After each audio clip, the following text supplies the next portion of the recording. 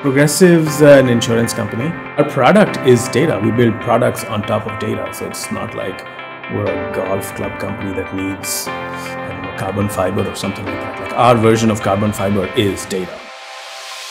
We went down a path looking for solutions because our existing systems don't were not scaling.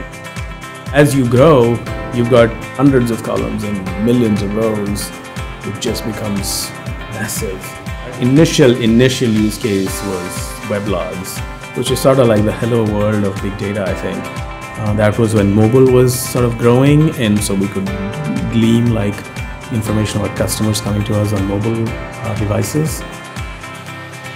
Once we decided we are going to get serious about big data, we started looking at um, our ads and where we place our ads, so display ads, usage-based insurance, and our snapshot devices, our second use case and then mining through claims notes was our third use case. The Hortonworks Hadoop ecosystem that we have built is sort of front and center. And I think just the openness of Hortonworks and sort of the mission and staying true to sort of open source, I think helps us.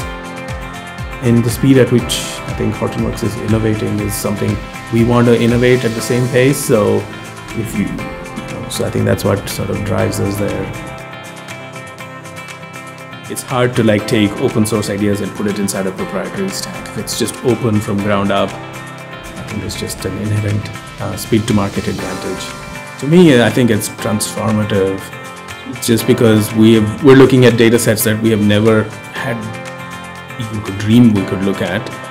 Uh, we're adding additional external data that in the past we would have never thought we could actually do. So it's, it's joining dots that in the past we didn't even know we could join used to be where someone would say, hey, I wish we could do this. And the answer was, well, we cannot because of A, B, and C. And it's almost like, yes, we can do it, and here's steps A, B, and C to do it. So, so it's a flip of how we were actually, we've sort of gone from a constrained world to a, a totally unconstrained world.